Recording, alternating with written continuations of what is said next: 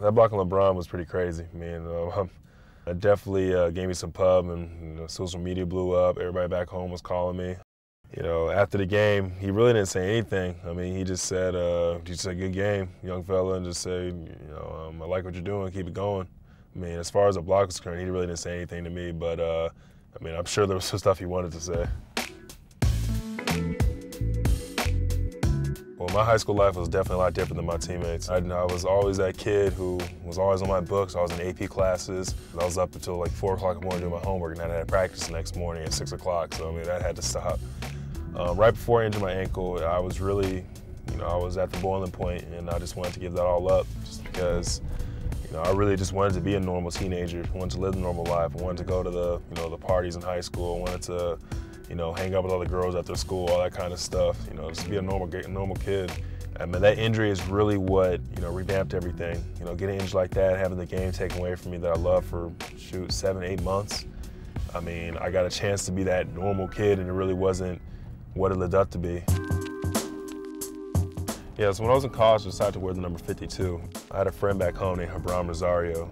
He passed of, uh, you know, of cancer, and it was, uh, it was definitely a tough moment for everybody he really just uh, was a big role model for me. And I mean, I'm not sure if he knew that, but he was he was huge in my life. But he wore number 52 in football and basketball, and um, you know, we came with a, with a slogan that said all we do is number 52, and I wanted to kind of keep that tradition going when I went to college and kind of carry a piece of him with me.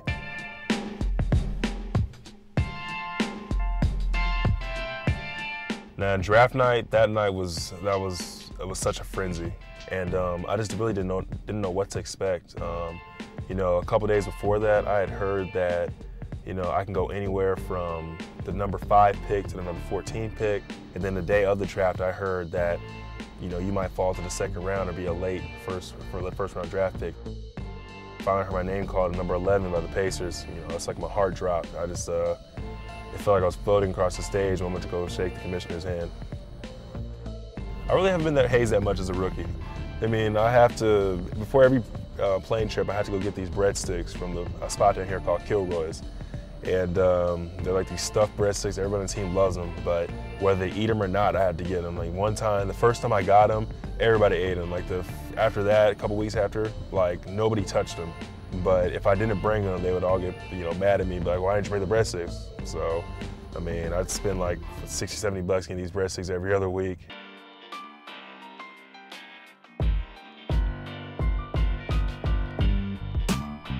My first start was definitely a great game and a great uh, milestone in my career as well. I was actually at home, and my dad had just came into town because we had a stretch of home games he wanted to catch. And um, coach called me, and I, and I answered it, and I put it on speakerphone. He said, hey, Myles, you know what, you've been playing really well lately for us, and um, I just want you to know tomorrow I'm, uh, I'm put you in the starting lineup. And uh, I just want you to go out there and do it, continue to do what you've been doing, and uh, you know I think you're gonna be a great contributor to this team. And that was crazy because the fact that I had a speakerphone, my dad was able to hear that as well, and it was, um, man, I, I, mean, I can't even describe the feeling. Like I was just like elated, I was up, I was just like ready for the challenge. Uh, my fondest memory of rookie year so far is probably when we played Golden State. I had my best game of my career thus far. I think I had like 31, 32 points, something like that. And it was just like a magical game for me. It's like every shot I put up was going in. I was playing great defense, like grabbing a whole bunch of rebounds, and I was doing it against one of, you know, what might be going down as one of the best teams in NBA history.